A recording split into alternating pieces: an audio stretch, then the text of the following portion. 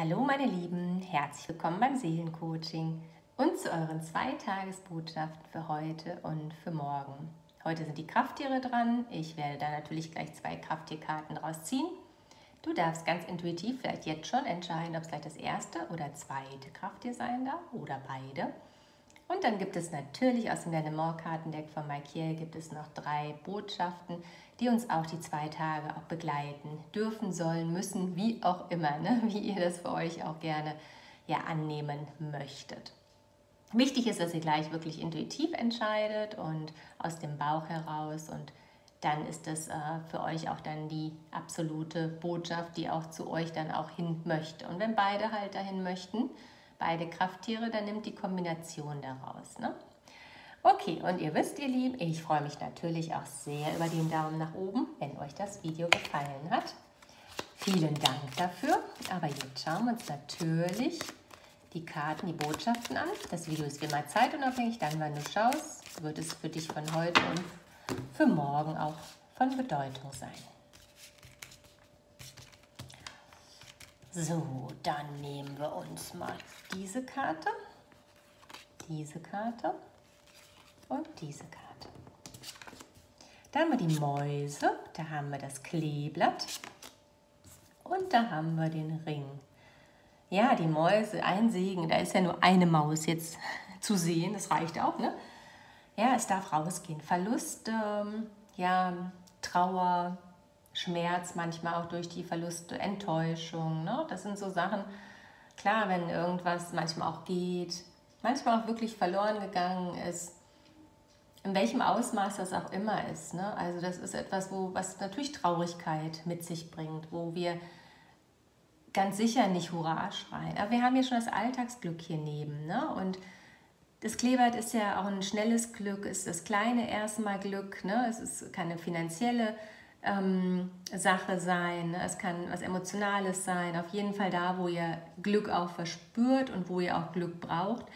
Vor allen Dingen sage ich immer, das Alltagsglück ist ein aufbauendes Glück. Ne? Nimmt wirklich so die kleinen, auch die, das ist vielleicht auch ein ganz großer Appell auch, nimmt die kleinen Dinge des Lebens auch wahr und ernster ne? und schätzt sie mehr und dann baut darauf auf. Dann kann ganz viel da auch kommen. Ne? Und gerade hier auch in Verbindungen. Vielleicht ist man traurig, weil ja irgendjemand jemanden verlassen hat oder es gab eine kleine Streiterei. Ne? Die Mäuse müssen auch nicht was Dramatisches sein. Ich meine, vor allen Dingen müssen wir auch mal sagen, jeder empfindet ja auch anders. Ne? Aber so dieses Angepiekste, dieses nicht wohlfühlen ne? und weil irgendwas gewesen ist, ne? das, das geht jetzt. Das ist definitiv, das ist jetzt Vergangenheit. Ne? Also es ist jetzt der Zustand, der vielleicht gerade noch so in dir ist, aber hier wartet schon das schnelle, kleine aufbauende Glück in Verbindung und auch in Verträgen. Ne? Also es kann gut sein, dass es hier ähm, neue Personen auch in dein Leben kommen. Vielleicht werden Verbindungen, Freundschaften etc., vielleicht auch Liebesbegegnungen, Beziehungen intensiver, ne, wo man drauf aufbaut. Ne? Also nicht von heute auf morgen wird es immer die große Liebe sein. Es wird auch nicht immer sofort von heute auf morgen ähm, man wird nicht wissen, ob das jetzt für ein ganzes Leben eine Beziehung ist, ob in Freundschaften oder halt auch wirklich mit Herzmenschen etc. Das, das wisst ihr aber auch. Ne? In dem Moment kriegt ihr aber ein gutes Gefühl und darauf könnt ihr aufbauen. Ne? Oder bei Verträgen, wenn Verluste wirklich da waren, Arbeitsstellen, Kundenverträgen etc., dann kommt hier auf jeden Fall was. Ne? Und erstmal kommt vielleicht etwas Kleines, vielleicht kommt ein Nebenjob, ne, wo ihr eure Finanzen wieder aus, aufbessern könnt. Ne? Oder es kommt... Ähm, erstmal ein Smalltalk mit einer neuen Person, alten Person oder mit einem Herzmenschen, wo man sich das sehr, sehr wünscht. Ne? Aber dann haltet das ganz fest auch in eure, manifestiert es in euren Erinnerungen. Ne? Festhalten heißt jetzt nicht, jemanden krampfhaft, ne, ähm, energetisch ne, festzuhalten. Das nicht, aber trotzdem für sich zu manifestieren, dass man das auch möchte, dass man auch wieder bereit ist, ne? weil das darf hier auch gehen und die Freude darf kommen, ne? in welchen Verträgen auch immer. Bei manchen wird es vielleicht auch ein Umzug sein. Ne? Es wird vielleicht sein, dass man die ganze Zeit keine Wohnung gefunden hat oder ein passendes Haus oder was auch immer ihr sucht. Ne? Oder man kam einfach nicht vorwärts. Ne? Das ist auch eine Geschichte. Ne? Man, man befand sich in, in irgendwelchen Situationen, wo es einfach auch nicht weiterging und man hat sich deswegen schlecht gefühlt. Ne? Und man war dementsprechend auch oftmals down. Ne? Aber das ist die Maus, die guckt schon raus und das Alltagsglück mit den, mit den Verbindungen oder in Verträgen, in Verbindungen kommt ja schon. Ne? Und dann wertschätzt es auch, nimmt es auch an, ne? geht er aus dieser Schleife auch dann raus, peu à peu, ne? so wie es euch gut tut. Und dann baut ihr darauf auf und dann wisst ihr ja, wenn ich jetzt hier weiterziehen würde, wer weiß, was ich noch für wundervolle Karten ziehen würde. Aber jetzt schauen wir uns natürlich die Krafttierkarten dazu noch an, weil die unterstützen uns ja auch nochmal ganz doll und sagen uns dann halt auch, was hier los ist, was Sache ist. Und so, dann nehmen wir uns mal heute dieses Krafttier. Und dann nehme ich mir noch dieses für uns.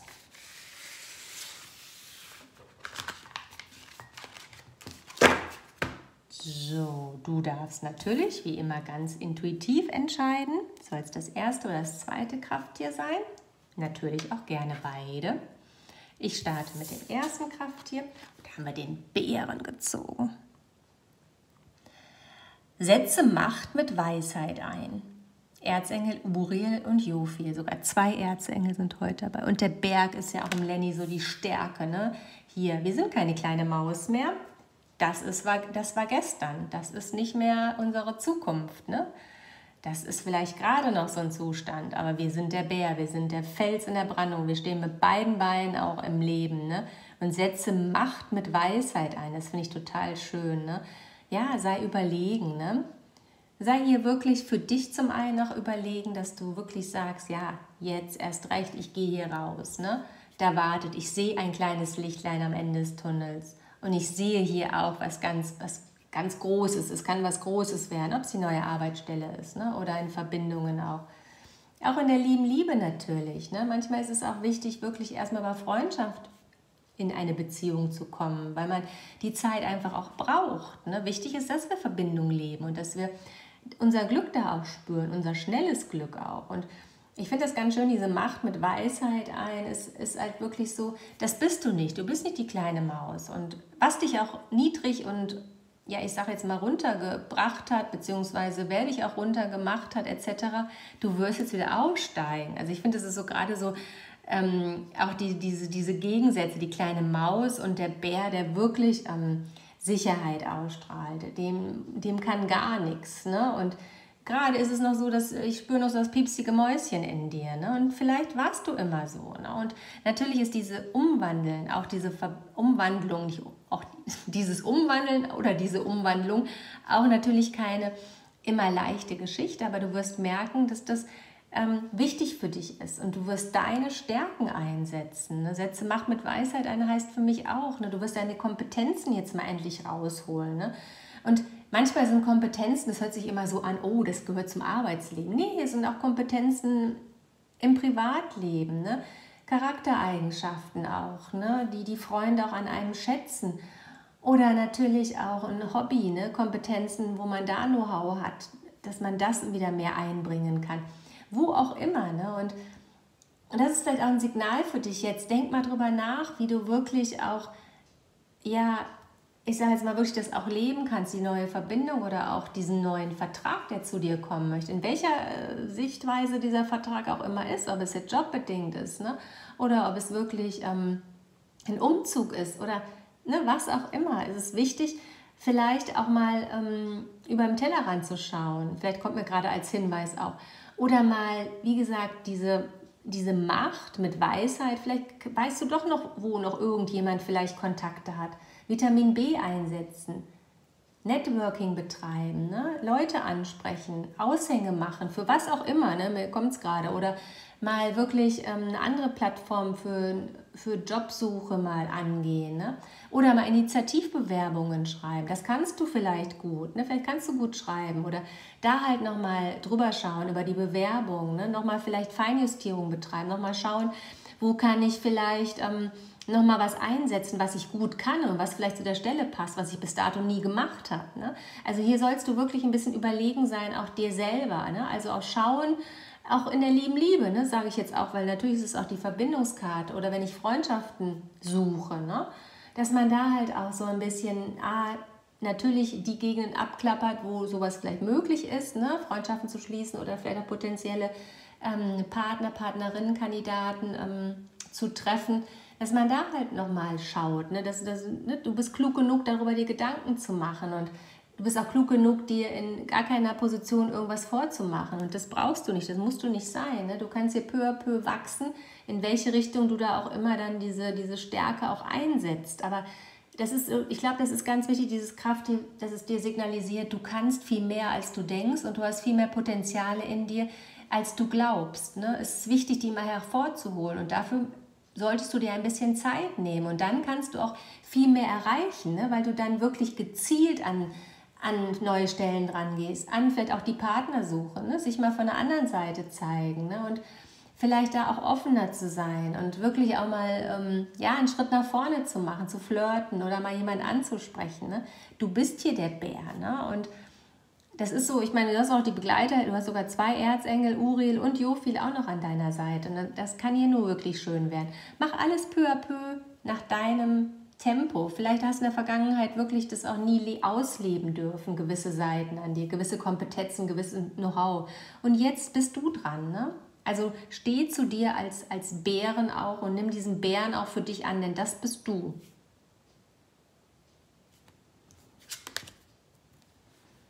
So, dann nehmen wir uns die zweite Karte. Oh, da haben wir die Ratte. Die Ratte, was steht denn da drunter? Steh zu dir selbst und das Universum belohnt dich. Erzengel Gabriel und Zadkiel. Hier haben wir auch zwei Erzengel. Ich mache mal Spoiler, genau wie bei der ersten Karte beim ersten Krafttier. Und heute sage ich euch mal wieder, schön, dass ich jetzt hier den, den, die Empfehlung hier, beziehungsweise den Wunsch ähm, auch gerade erfüllt habe, ähm, dass ich die Karte, die erste Karte umlege. Deswegen Spannung, Spannung, Spannung. Ich würde euch heute bitten, hört euch bitte die erste Karte auch an, weil die ist ganz wichtig auch. So, steh zu dir selbst und das Universum belohnt dich. Ja, das bist du nicht. Ne? Und das habe ich bei der ersten Karte, obwohl es eine ganz andere Bedeutung hat, eine ganz anderes Kraft die hat, ist das wieder, die Karten, die sind wieder so harmonisch zueinander und deswegen passen sie zusammen wie die Faust aufs Auge. Und mein Wunsch ist wirklich hier, sei du selbst. Du bist nicht das kleine Mäuschen mehr. Ne? Du musst dich nicht verletzen lassen. Du musst auch nicht, ähm, ich sag mal, dich unterkriegen lassen. Du musst auch nicht dich klein machen lassen oder dich selbst, ne? manchmal aus dem Außen heraus, aber manchmal macht man sich selber klein. Ne? Man traut sich vieles nicht zu und ist immer so zögernd und zaghaft und so. Nein, steh zu dir selbst, das Universum belohnt dich. Und ich finde, es ist so, so klasse, so, ähm, ja, lasst es mal wirklich mal so öfter mal so durch euren Kopf auch ähm, durchgehen. Ich will so Zunge zergehen lassen, ist ein bisschen blöd, aber lasst es mal wirklich durch euren Kopf gehen, dass das Universum dich belohnt, wenn du endlich zeigst, wer du bist, wenn du endlich auf dem Putz haust, wenn du endlich Grenzen ziehst, wenn du endlich Nein sagst, hast du hier das Alltagsglück, das Wachstumsglück in Verbindung, Verträgen, wo du es auch gerne haben möchtest. Ne? Ob es auf der emotionalen Seite ist oder ob es auf der finanziellen Seite ist. Ne? Oder wirklich materiell in dem Sinne, dass du ein Haus suchst, eine Wohnung suchst, endlich umziehen willst. Ne? Und nicht immer der oder die hundertste Bewerberin bist. Klar, das, das kannst du nicht beeinflussen, an wie vielter Stelle du bist. Doch, ein bisschen kann man es beeinflussen, weil wenn ich ganz nah dran bin, sprich wirklich, ne, ich sage jetzt mal ganz klassisch bei Wohnungssuchen oder auch bei, bei der Jobsuche, wenn ich wirklich regelmäßig, ne, und ich will nicht sagen stündlich, aber vielleicht mal so zweimal am Tag in die Jobportale oder auch in die Portale wo man Wohnungen, Häuser etc. finden kann, reinschaue ne? und nicht nur sage, ja, ich gucke da mal einmal die Woche rein oder so. Ne? Vielleicht auch abonniert, dass man per E-Mail direkt eine Nachricht bekommt, wenn eine passende Stelle oder ein passendes Haus, man kann ja so Kriterien festlegen, wenn man das festgelegt hat, dann bekommt man diese E-Mails auch, dass man sofort aber schaut. Und schauen reicht dann nicht. Ne? Ihr wisst, ich sage euch immer wieder, machen und tun. Das heißt für mich in der nächsten Sekunde, und ich übertreibe jetzt ein bisschen, aber so schnell es möglich ist, eine Bewerbung rauszuschicken. Ne? Eine Bewerbung an eine Stelle oder auch wirklich eine Bewerbung für eine Wohnung, Haus etc. Und das ist so, ne, wenn du machst und tust und wirklich da noch dich selbst mit einfließen lässt, deine Persönlichkeit, dein Wissen, deine, dein Know-how, deine Kompetenzen, dann siehst du hier, dann bekommst du es auch zurück. Wenn du dich immer klein machst und unterkriegen lässt, wenn du Mobbing zulässt, das ist jetzt alles groß gesagt von mir. Ne? Der eine oder andere wird sagen, ja, was soll ich denn machen? Ich brauche diesen Job und so. Natürlich brauchst du diesen Job auch, um finanziell klarzukommen. Aber es gibt 130.000 andere Möglichkeiten. ihr wisst, ich bin sehr klar und sehr ehrlich und sehr direkt und ich bin Coach, ich darf das auch, ich nehme mir das heraus, weil ich Jobcoaching auch tagtäglich mache und deswegen ist es halt, ich meine, hinter Mobbing, das ist was ganz Grausames und Schlimmes, aber wir dürfen uns auch nicht verstecken. Und ich sage immer, wenn jemand nicht ins Tun kommt dann, ne, welche Wege er oder sie dann auch einschlägt, dann ist die Schmerzgrenze noch nicht groß genug dann ist die Schmerzgrenze noch nicht erreicht. Und das sage ich leider Gottes auch immer sehr direkt. Ne? Natürlich stoße ich manchen auch dann vor dem Kopf, aber ich lasse mal trotzdem das auch mal dann, ähm, ja, dass der, dass der oder mein Gegenüber in dem Moment dann auch mal sich reflektiert und dass er das auch mal wirklich wahrnimmt, dass es halt so ist.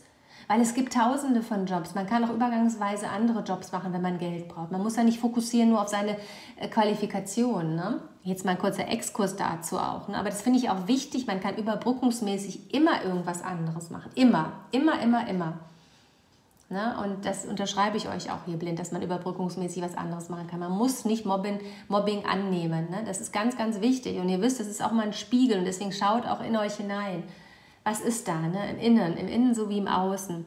Aber deswegen steh zu dir selbst, ne? mach und tu, dass es dir gut geht, dass du dieses Altersglück wieder spüren darfst oder endlich spüren darfst, ne? dass du endlich hier wieder ankommst, dass du dich festigen kannst in der Partnerschaft, in der Verbindung oder in Verträgen auf der Arbeit oder endlich ein Zuhause findest, wo du ankommst. Du wirst belohnt werden, definitiv. Aber wichtig ist dir wirklich deswegen, dass du nicht mehr dieses kleine Mäuschen bist. Und deswegen ist auch wichtig, dass du bitte die erste Kraft, Kraftkarte dir, Kraftkarte, ja auch Kraftkarte auf jeden Fall, aber auch Krafttierkarte auch anhörst, ne, weil das passt mega. Das war gestern, ne? dieses kleine Mäuschen oder Maus, ne? ob du jetzt Mann oder Frau bist, das ist uninteressant hier. Ne?